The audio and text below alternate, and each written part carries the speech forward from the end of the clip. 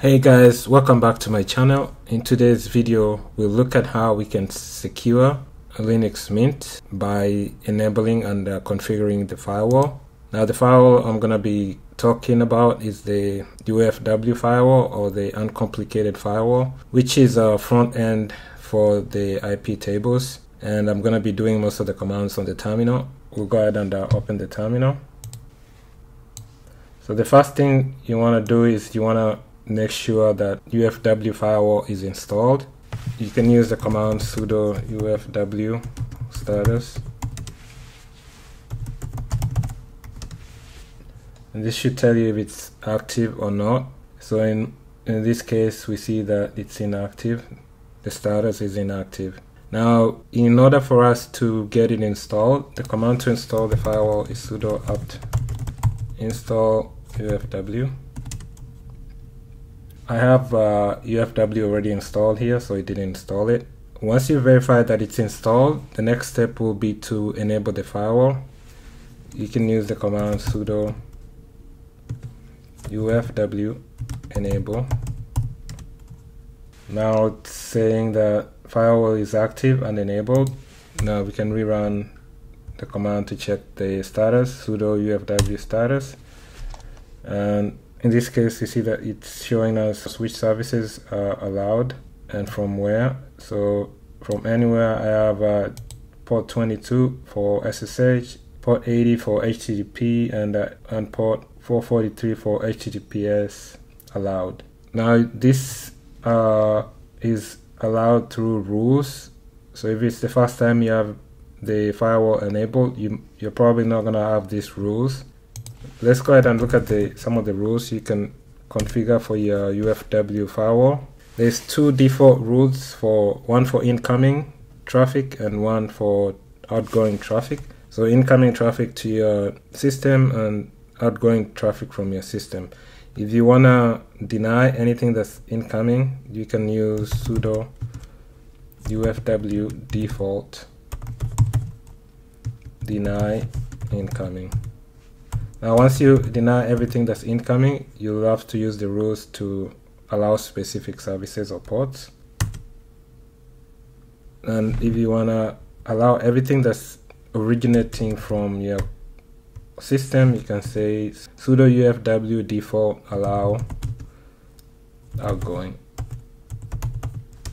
And that allows all traffic that's originating from your system.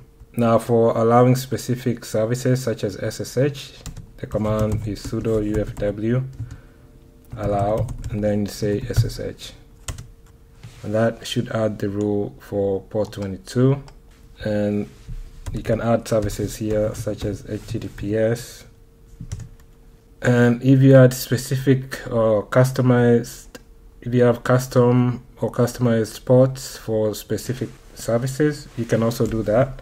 Let's say you have port 3000 for some service. Uh, for some specific service, you can do sudo ufw allow then the port number and then the you can specify whether it's TCP or UDP okay. Next thing you might want to do is you might want to enable logging. So you can monitor firewall activity. You can use the command sudo ufw logging on. That allows login for your UFW. Now the logs are going to be written onto the var slash log slash ufw.log file. So let's see if this file exists. We can do ls var log and there it is. That's the file. Let's see if there's any contents in it.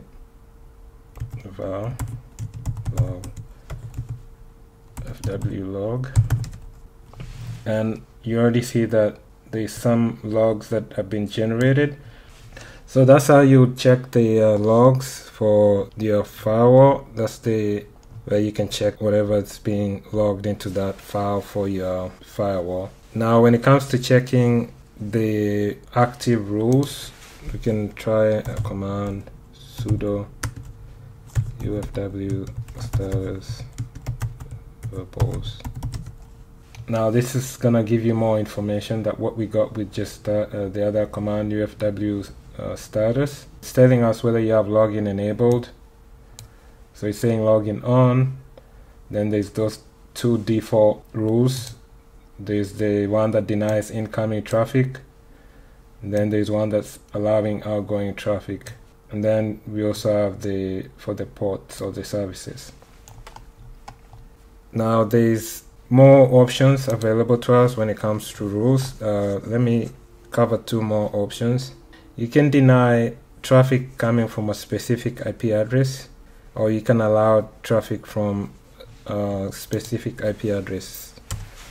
Let's say for instance I wanted to deny uh, traffic I could say sudo ufw deny and then from and then here you'll have to put the IP address that you want to deny from okay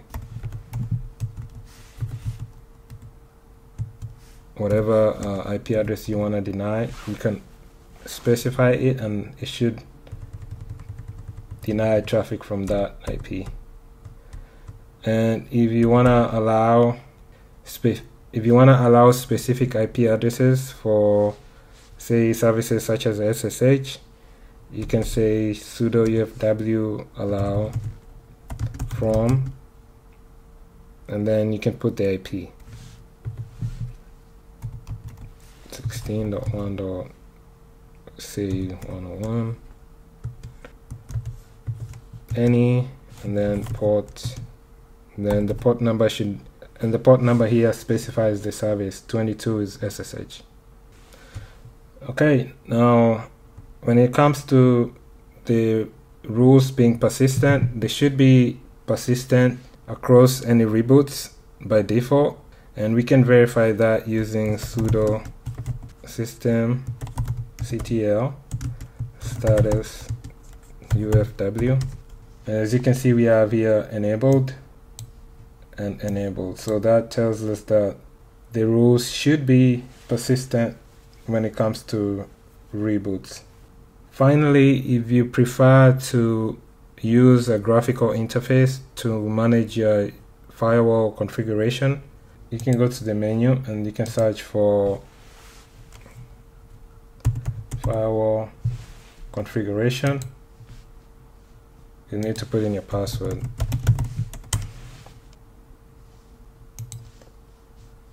And this is the graphical interface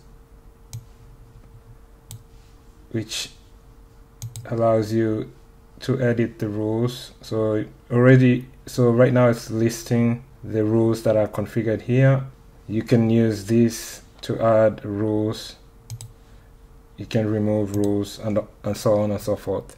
So that's all for this video. That's how you can enable and configure the firewall on Linux Mint to harden and secure your Linux Mint. So I hope this information has been helpful. I'll catch you in my next video. Thanks. Bye